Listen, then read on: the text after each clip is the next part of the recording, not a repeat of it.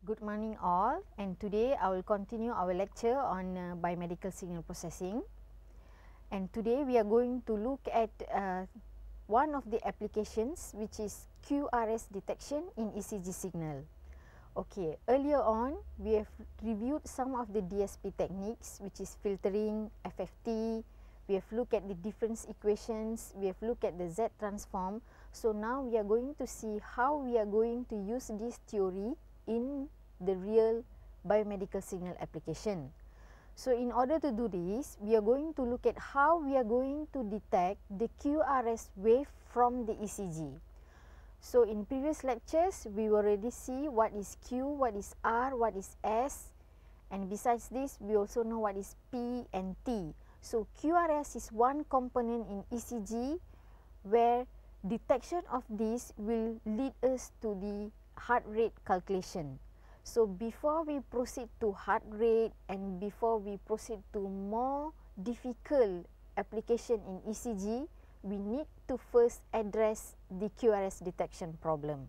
This is one of the fundamental and simple problem in ECG analysis. So, if we look at this slide, we can see that the ECG can be decomposed into few components, the QRS complex, the T wave and the P wave. So by looking at the Fourier transform or the spectral analysis of these components, we will be able to see the frequency content of the ECG signal. So we can see that like for example, the QRS complex contains frequency from around 5 hertz to 20 hertz. So meaning that in the ECG signal, we want to filter this component out because we only need the QRS sample. And we want to eliminate the other frequency components such as the PT, motion artifact and the muscle noise. You can see that P and T is below 5. But motion artifact is some sort masking with the QRS. This is what we want to remove. So this is an example of filtering and we just want to filter out the QRS from the other components of ECG. Okay, and to detect QRS, there is many, many, many, many algorithm. Okay, and one of the most famous and the fundamental and most traditional is the algorithm that is developed by Pan and Tompkins. This one is like um, developed as early as uh, I would say 1980s and why we are going to look at this algorithm in this class is because this is established and this is proved to have accuracy at least 99.9% and it has been tested with MIT database, Howard database and many many database.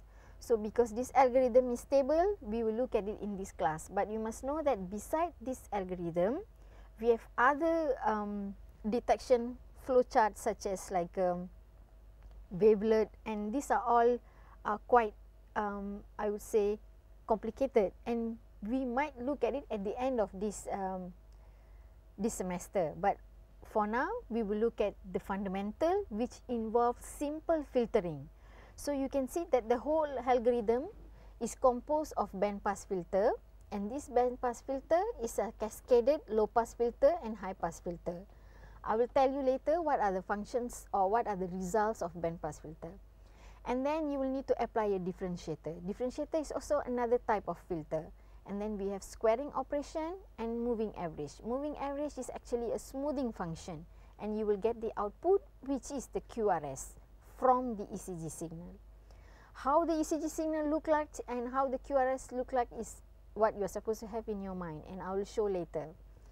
So you can see this is the first, if you go back to the previous slide, the first, I'm going to explain on the first um, low pass and the high pass. So the band pass actually is trying to eliminate noise. We have the low pass part, you can see that we want to eliminate the EMG and the 50 Hz power line noise. So we create a low pass filter with a cutoff of 11 Hz and you can see in the slide the difference equation once you do the frequency response and the phase response, you are supposed to get uh, like how it is shown in the figure. Okay, and you can do exactly like what I've obtained here using MATLAB. Once you do the low pass filter, means that you will successfully eliminate the noise and then this is the high pass filter. You can look at the frequency response. It is actually eliminating the lower frequency components which is below than around 0.05 hertz and then look at the phase response. It is a linear phase response so meaning that the filter is stable. And once you have done with this, we will go to the differentiation. The differentiation is to obtain the slope information and overcome the baseline drift. Okay. Earlier I have shown one of the problem with the ECG signal is the baseline drift. And how do we do this? We uh, is the difference equation is shown in the slide and you can implement in MATLAB and you will finally get the output as also shown in the slide. Okay. And the next step is squaring. Squaring is to emphasize the higher frequency component and attenuate the lower frequency component.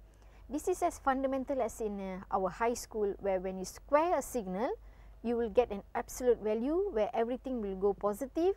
So whatever um, amplitude you have will be doubled. So you will trying to emphasize the higher frequency component and the lower part will be suppressed. Okay, the last step is moving average. As I said, as I mentioned before, the moving average is actually a smoothing filter. It kind of smoothes the whole signal and by the end of this operation, you should be able to get a spike-like signal as you can see in the slide. So, the, in the next slide, I am going to show another example. Like in the previous slide, you see the spike and the ECG signal is a normal signal.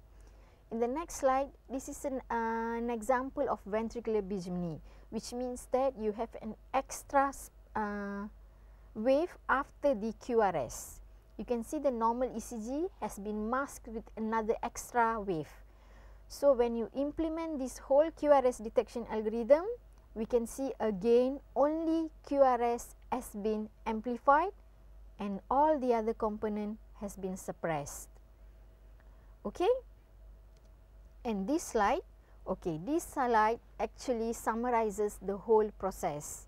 If you look at the first slide, I mean A, it shows the ECG signal recorded from a patient.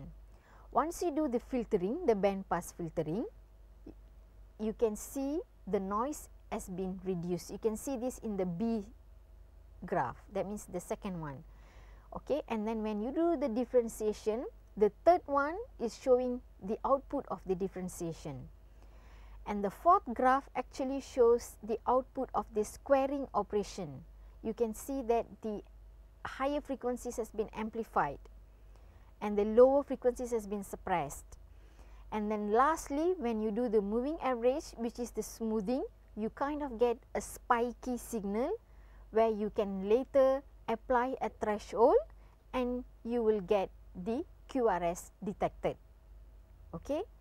So, when you do this filtering, you can look at the output in this way to see whether the algorithm is correct or not. And another way, you also can go back to your FFT where you look at the frequency response and the linear response and make sure that what you are doing is correct. So, this is a wonderful application and you should be able to do this by yourself. And these are the examples of other signals where you apply the QRS algorithm and you are supposed to get a spike signal like this. Okay. And here I am just uh, emphasizing again how when you get these waves detected QRS, you finally will use a threshold to detect the highest point which is the R point and by getting this R point, we will be able to calculate the heart rate. When you get the heart rate, eventually you will be able to calculate the heart rate variability. And from the heart rate variability, many many other applications can be done like detection of heart, uh, sudden heart attack, detection of myocardial ischemia, detection of autonomic nervous system disorder and many many other things. So this is a very fundamental application and by just using simple filtering such as bandpass, differentiator and squaring, you will be able to detect the peak of the ECG signal. So with this, I end this lecture. Thank you very much.